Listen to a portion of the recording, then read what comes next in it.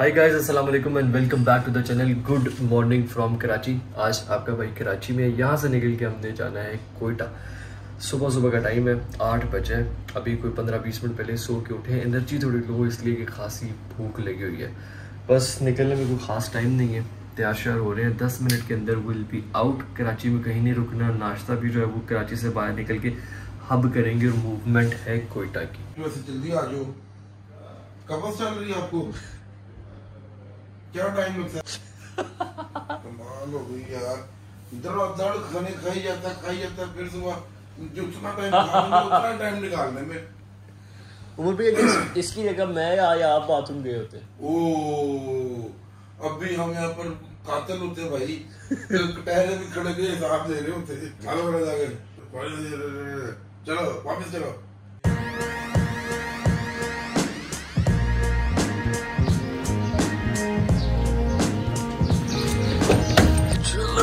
बिस्मिल्लाहिर्रहमानिर्रहीम। चल पड़े कि नहीं?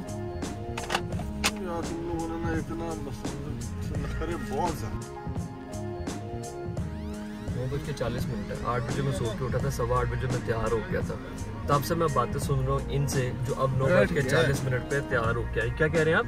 गाड़ी में मुझे लग रहा है कैसे चल पड़ो यार खुदा का अल्लाह अकबर ठीक है यार।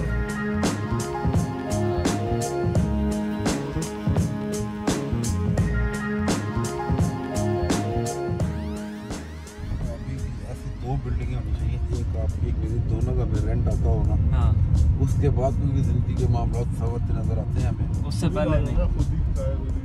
उससे पहले वो अभी कुछ भी नहीं है ज़िंदगी। ज़िंदगी बस यही है।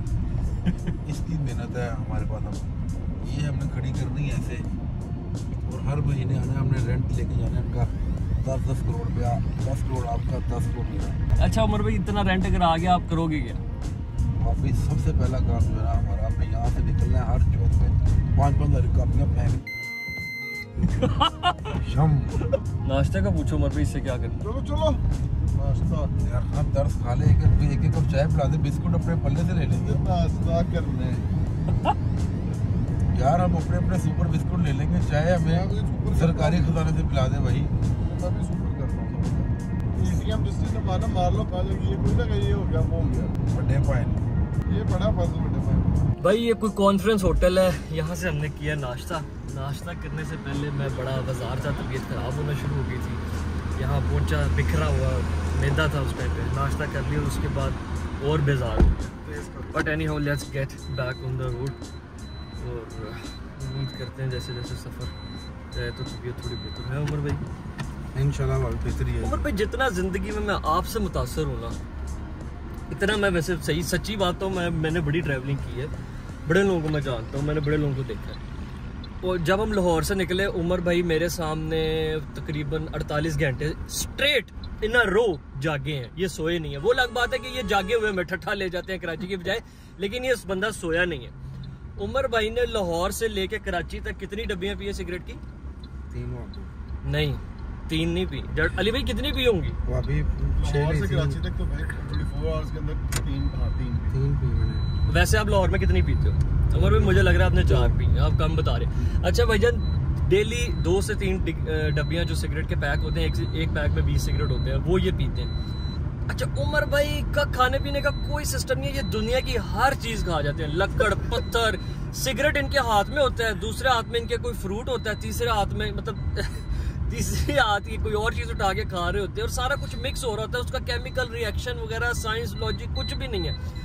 ना फिर उमर भाई सो रहे होते हैं। फिर हम कराची आए मार्केट में जहाँ उन्होंने काम करना था, वहाँ उमर भाई 180 की स्पीड से मार्केट फिर रहे थे। और इवन के अली भाई जैसा जोशीला बंदा पीछे रह जाता था उनका भी काम है इनका भी काम है। लेकिन उमर भाई कह रहे हैं हाँ तू बड़ा स्लो होके चल रहा है हाँ तू बड़ा स्लो होके चल रहा है यार कराची आए हैं लाहौर से बगैर सोए है। तेरे में करंट नहीं है काम करने का। मेरा तो दिल कर रहा है हाँ मैं आज चार दुकानों से और डील कर लूँ मैं ये भी कर लूँ मैं वो भी वो भी आप इतनी एनर्जी कहाँ से लाते हो? अगर कसम से इतनी एनर्जी मेरे अंदर आ जाए ना। पच्चीस दिन में पैसा डबल पच्चीस दिन में पैसा डबल कमाल है। सबसे बड़ा सबसे बड़ी बात ये कि मैदे का वाकई कोई हिसाब कोई साहब नहीं है। अल्लाह पाक ने जो लिख दी है, गई है सब मिक्स है। ज़िंदगी एंजॉय करे खुल मतलब के। कसम। ओ भाई हम भी करना चाहते हैं। हम हर दूसरे दिन हॉस्पिटल गए एक बंदे के हाथ दो हैं और उसके एट ए टाइम मुँह में चार अलग अलग चीज़ों चार अलग अलग चीज़ें। हैं। हाँ। एक से सिगरेट चल रहा है। एक में सिगरेट और जिससे सिगरेट चल रहा है उसी से साथ जो है ना वो कोई सेब का यार, भी अंदर जा रहा है हाँ। और लेफ़्ट साइड से मछली जा रही है। लेफ़्ट साइड से मछली जा मछली रही के है। साथ चाय भी पी जा रही है। मतलब कुछ भी सब कर रहे हैं। उसके बाद आइसक्रीम मैंने ना किसी बंदे को किसी भी बंदे को मतलब लोग दूध सोडा बना के पी लेते हैं लेकिन स्टिंग में दूध डाल के पता नहीं वो कोई ठंडी बोतल यार उसकी मुझे। कभी समझ नहीं मैंने किसी को वो पीते नहीं देखा। बहुत इंग्लिश चीज़ है कोई देखेगा भाई तो एक बार ट्राई करे। रेड अभी भाई हम साथ बैठे हमने ट्राई नहीं किया आपने ट्राई करनी अपनी ज़िम्मेदारी करे एक दफ़ा भाई और मुझे कमेंट में बताएँ हम्म। कि क्या चीज़ है वो। ये आ गया ज़ीरो पॉइंट और यहाँ से लेफ़्ट होकर रोड गवादर जा रही है और आज हम सीधा जा रहे हैं जहाँ से पिछले ट्रिप में इस तरफ़ से आए थे। Towards Khuzdar and then Quetta ये बेचते थे अरबियों को यार वहाँ पे क्या भेज देते अरबियों को? ये सारा ये साले तुझे ना भेजते अरबियों को। यार बेचने में ठेके पे इतना क्यों देते हैं भाई? मामले लगते हैं अरबी मेरे। तैयार करके चले जाएँगे हम कब्जा कर तैयार करके चले जाएँगे। खुद कर ले। खुद दे पैसे करूँ। चल। तू तैयार खाने के पैसे नहीं है खुद तैयार कर ले हम। ハハハハ!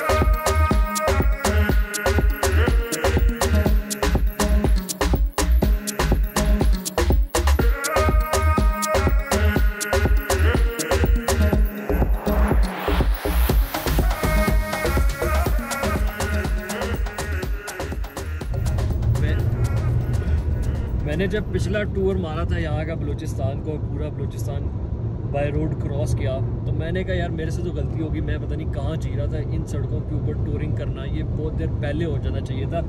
और मैंने ये भी कहा, वापस जाके अपने तमाम दोस्तों को कस्टों को सबको कहता था कि, यार, बेहतरीन आइडियल लोकेशन है टूरिंग की, अगर आपको गाड़ी चलाने का शौक है तो अगर आपने यहाँ पे ये काम अभी तक नहीं किया तो फिर पता नहीं आप कहाँ जी रहे हो। अब मेरे मेरी नज़र में जिस बंदे को सबसे ज़्यादा टूरिंग का, मेरे सर्कल में शौक है ड्राइविंग का और जुनून की हद तक शौक है चौबीस चौबीस घंटे न स्ट्रेट रो गाड़ी चला, चलाते हैं ये। उन, अब वही साथ है। अब आप बताओ कि मैं जो सड़कों के बारे में कहता था और जिस तरह यहाँ पे जो फील आ रही है टूरिंग की और जाई जा रहे हो, हर थोड़ी देर बाद नज़ारा भी चेंज हो रहा है और वो सेटिस्फाइंग फीलिंग आ रही है रोलर कोस्टर जैसी रोड कभी इस तरफ़ टर्न दे रही है, झूले मिल रहे हैं साथ साथ एंडलेस व्यूज़ आ रहे हैं, जैसे समंदर में जा रहे हैं। कैसा फील आ रहा है? हर पचास किलोमीटर के बाद एक तो आपका नज़ारा चेंज है। है। हाँ और दूसरी बात ये है कि मतलब ये अल्टीमेट है। मतलब इससे अच्छा मुझे ऐसा लग रहा है मैं पाकिस्तान से बाहर आ रहा हूँ। मुझे ये है कि पाकिस्तान में वहाँ नॉर्दर्न में भी जगह देखी है चीज़ें देखी हैं वो भी ऑब्वियसली बहुत नेक्स्ट लेवल है हाँ, लेकिन उनका डिफरेंट मज़ा है अलग है। उसको आप इसमें मिक्स मैच नहीं हो सकती ये चीज़ें। लेकिन अब प्रॉब्लम ये है कि ये चीज़ों का फील वो है कि हम बता तो सकते ही नहीं। ऐसे रोड है मतलब जहाँ तक था हद निगाह। आप वो स्ट्रेट रोड है। और जो मैं चाहता हूँ ना कि भाई जो हाँ। दूर से कुछ भी आ रहा है मुझे पता चल जाए। हाँ। ठीक है तो वो मुझे वहाँ से नज़र दूर से नज़र इतनी दूर से नज़र आ जाता है कि मुझे 140 या 50 पे भी हूँ ना तो उस तक पहुँचने के लिए भी कोई 40 सेकंड्स 45 सेकंड्स की ज़रूरत है कम अज कम। तो ये चीज़ें फिर ये कर्व्स और ये अच्छा फिर सबसे बड़ी बात यह है कि एक जैसा नहीं है। हाँ। मतलब एक ही जैसे आप जा रहे हाँ, हो बोर ही- हो सकते। दो तीन घंटे में बोर हो गए भाई ये बारह घंटे भी इसमें मैं चलूँगा ना तो बोर नहीं हो सकता क्योंकि हर आधे घंटे के बाद घंटे के बाद नहीं फील बिल्कुल ही नज़ारा चेंज है दुनिया ही चेंज हो जाती है सारा निज़ाम ही चेंज हो जाता है फील ही सारी चेंज हो जाती है। और यहाँ पे एक चीज़ और ऐड करूँगा ये जो मतलब मुझे पता ना कि मुझे मोस्टली ये है कि ड्राइविंग कोई और करे मुझसे नहीं बैठा जाता। हाँ हाँ हाँ। और वो भी पीछे बैठना हाँ। कभी बैठा ही नहीं। और ये वाहिद जगह है जहाँ मैं पीछे बैठ के शायद और ज़्यादा इंजॉय कर रहा था क्योंकि हाँ। मैं देख रहा था यार ये क्या है? ये मतलब कौन सी दुनिया में आ गया हूँ यहाँ पे क्या चल रहा है? फील ले रहा था वो फील लेना इतना मज़ा आ रहा था बीच इस तराने लगाए हुए हैं। हाँ। और ऐसे जैसे ड्राइंग रूम में बैठा जिसने रेस्ट करना होता है वो पीछे वाले कमरे में चला जाए। ड्राइंग रूम में बैठा हूँ ड्राइंग रूम में बैठ के पूरी फ़िल्म देख रहा हूँ। हाँ। वो एक अलग मज़ा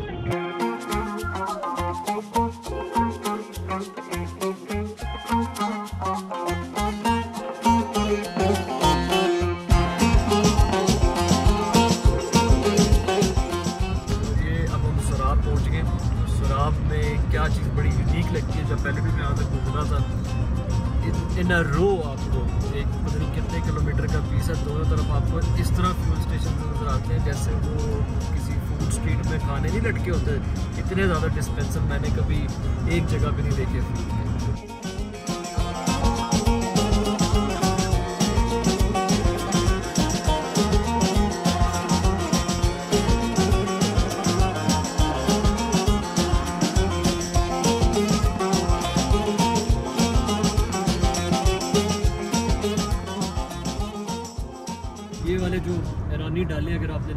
वीडियोस वगैरह देखी होगी जो ईरान से स्मगलिंग वगैरह का काम करते हैं। ये डाला इनफैक्ट जो कि एज अ व्हीकल ये भी ईरान से आया हुआ है। और इस तरह से ये तेल की स्मगलिंग का काम कारोबार करते हैं। तो बड़े ईजीली फ्रीली यहाँ पे लोग कर लेते हैं। और इतनी सख्ती भी इसके ऊपर इसलिए नहीं है, क्योंकि बलूचिस्तान में काफ़ी पसमानदा इलाके हैं। लोगों के पास वहाँ पे काम, कारोबार, रोज़गार नहीं होता। तो हुकूमत भी इतनी सख्ती नहीं करती कि यार चलो as far as the product is not something illegal मंशियात ना हो या कोई ऐसी ममनू चीज़ ना हो इस तरह की अशियाए पुरतनोश खाने पीने की चीज़ें और ये तेल वगैरह इसकी स्मगलिंग करके बहुत से लोग अपना काम चला लेते हैं क्योंकि ईरान से चीज़ें सस्ती मिल जाती हैं और ईरान के ऊपर वैसे दुनिया में सेंक्शन हैं। बहुत कम लोग, बहुत कम मुल्क ईरान के साथ ट्रेड करते हैं। हमारा नेबर भी है। वहाँ से सामान वगैरह मिल जाता है। वो फिर लोग, काफ़ी लोगों का ज़रिया है। बहुत इस चीज़ से जुड़ा हुआ है। वो ईरानी चीज़ों का कारोबार करते हैं। कोयटा में मार्केटें हैं, और भी शहरों में मार्केटें हैं। गवादर में भी आपको चीज़ें मिलेंगी। अब में भी आपको ईरानी चीज़ें मिल जाएँगी, फोर्ट मनरू में भी आपको ईरानी चीज़ें मिल जाएँगी, जोब में भी मिलेंगी। तो पूरे बलोचिस्तान में ये सिलसिला जो है ना, ये चलता रहता है। गाड़ी तो रोकी थी सूसू ब्रेक के लिए। ट्रैवलिंग में मेरी वैसे कोशिश यही होती है कि कहीं पे अगर टॉयलेट साफ़ सुथरा नहीं मिल रहा, उससे ज़्यादा बेहतर मेरी प्रेफरेंस ये है खुले में आराम से, सुकून से, कुदरती माहौल में ये हरकत कर ली जाए। लेकिन अब टाइम वो हो गया है सनसेट के करीब बिल्कुल गोल्डन आवर ये दिन का सबसे फेवरेट टाइम होता है। इस वक्त टम्परेचर यहाँ पे बहुत मज़ेदार है। तकरीबन 30 के करीब है। हवा बड़ी प्यारी पीसफुल सी चल रही है। और बिला वजह बस रोड के पास खड़े होकर कुछ मोमेंट्स को एब्जॉर्ब करने का, सुकून से फील करने का बड़ा मज़ा आता है।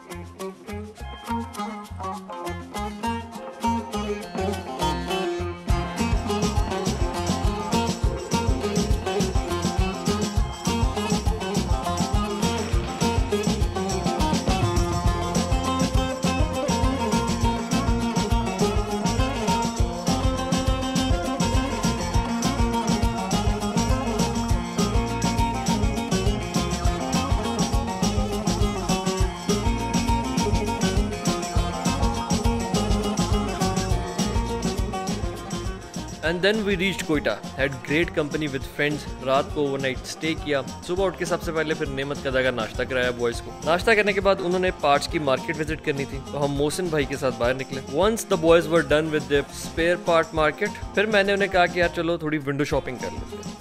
क्योंकि हमारा ओरिजिनल प्लान आगे जाने का था, लेकिन अभी हमारा ट्रैवल प्लान चेंज हो गया था। सो सोचा इस टाइम को किसी और तरह यूटिलाइज कर लें। तो भी हमने जाना था आज चमन की मार्केट विज़िट करने के लिए, लेकिन हम चमन नहीं गए और कोयटा में कुछ गाड़ियों के शोरूम वगैरह देखने आए हैं। यहाँ पे जो हमसे गाड़ियों का स्टॉक अवेलेबल है very interesting thing for me to do I show you some of the cars जो कि मुझे इंटरेस्टिंग लग रही है और यहाँ पे अवेलेबल है। ये एट बेचारी के साल में पड़ी हुई है। थोड़ी सी डैमेज हुई है। स्क्रीन नहीं है। ऐसा लग रहा है दुबई में को पार्ट के यार्ड में खड़ी हुई हाँ आता है ना इसमें।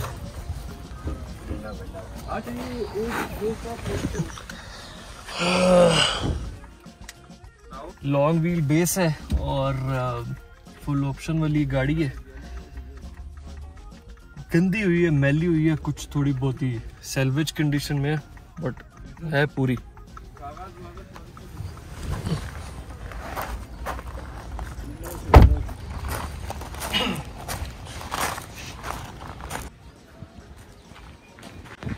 उमर भाई यही वाली थी ना वो बंदा जो कश्मीर वाला था। ये मेरे लिए सबसे इंटरेस्टिंग गाड़ी पूरे इसमें जो खड़ी है ना वो ये है। ये डॉक्यूमेंट्स मैक्सी के साथ खड़ी है। अच्छा क्या क्या पैसे कहते हैं? 65 के रखी है भी लेफ़्ट हो अच्छा वो लेफ़्ट है। मैनुअल वाह।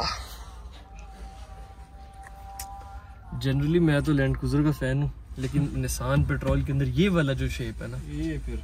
मुझे निशान में सबसे अच्छी चीज़ ये लगती है इसका फ्रेम बहुत मज़बूत है बहुत मज़बूत है। कोई गाड़ी जैसे अरबी इसको ट्यून अप करते हैं ना क्रूजर उतना वज़न ही नहीं उठा सकती इतनी हॉर्स पावर ही नहीं उठा सकती। एक ही गाड़ी है जिसमें जीटीआर का इंजन लोगों ने जीप में रख के बगाई है पंद्रह सौ हॉर्स पावर तक निशान पेट्रोल है। फ्रेम मज़बूत है। टूटता नहीं है।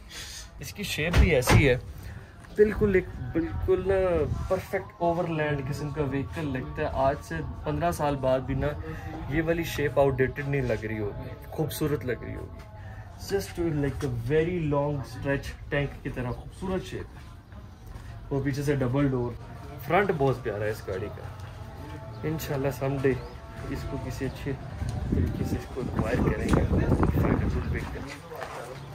वेरी एक्सपेंसिव बहुत अच्छी off road machine I think शायद दुनिया में से चीज़ सिर्फ़ जी वैगन हो सकती है या रेंज हो सकती है, लेकिन रेंज की ऑफ़ रोड कैपेबिलिटी इतनी अच्छी नहीं हो सकती जितनी इसकी है। लाख तो चार हज़ार है।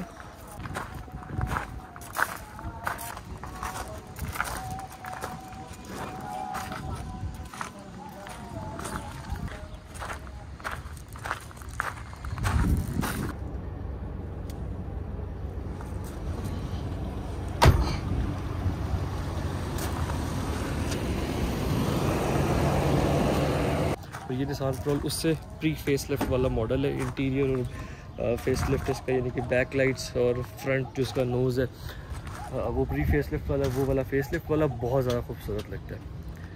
ये भी गाड़ी बहुत अच्छी है, बड़ी केपेबल है, लेकिन वो वाली तो शेप बहुत ज़्यादा खूबसूरत लगती है। इसको कुछ लोग अपलिफ्ट करके उसमें कर लेते हैं, लेकिन वो जो ओरिजिनल होता है ओरिजिनल होता है। फेस लिफ्ट करके वो मज़ा, वो फील नहीं आती।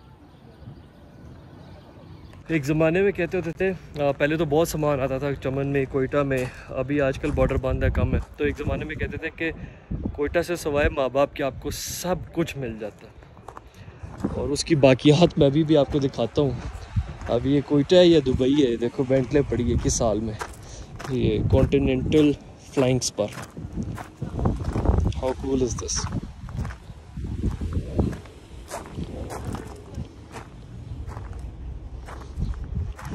बिल्कुल मुझे ऐसा लग रहा है मैं अवीर में दुबई में फिर रहा हूँ। उसी तरह की मिट्टी चढ़ी हुई है गाड़ियों के ऊपर और धूप में बेचारियाँ बेयारो मददगार। अच्छा। 26 इसका इसने इसका बताया? ये नहीं बेच रहे पहुँच के भी आगे जाएगी। अच्छा पहुँच की है ये। इधर ही आपको लाहौर में दिखाई देगी। खाना है प्राडो बस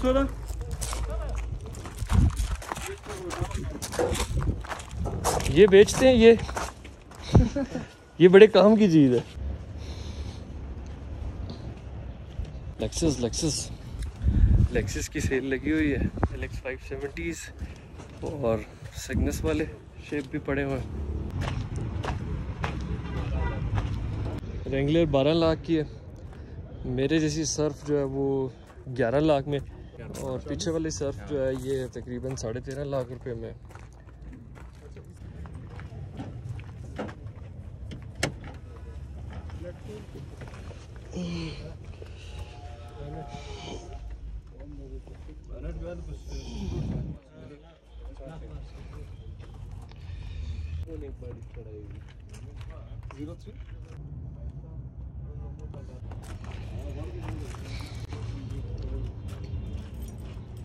गाड़ी ठीक है, कलर भी बहुत अच्छा है। रूफ रूफ का कलर और उसका, पहले यही गाड़ी जो है एनसीपी मिल जाती होती थी तकरीबन आठ एक लाख रुपए की। अब इसकी प्राइस बारह डिमांड कर रहे हैं। और car is good I am personally मैं रेंगुलर का बहुत फ़ैन हूँ। ये वाला लेक्सस एक सौ तीस डिमांड कर रहे हैं इसकी। और वाइट वाले की भी डिमांड एक सौ तीस है। ये फ्रेश सिग्नस खड़ा हुआ है। पाँच मॉडल है। और इसकी है डिमांड चालीस। इसकी क्या है? इसके साढ़े बारह। ये चौंतीस हो। वो वाला भी चौंतीस होता वो सताईस हो। वो सताईस सौ ये मॉडल दो हज़ार है ना वो।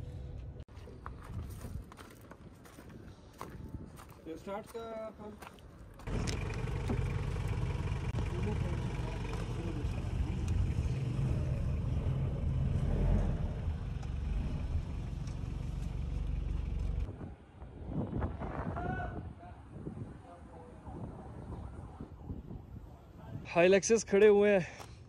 थ्री डोर जी वैगन जिसे बोलते हैं। दुनिया इसे जी वैगन के नाम से जानती है। G five hundred right hand है। मॉडल जो है वो तकरीबन अर्ली नाइन्टीज़ का ही है। कूल यार।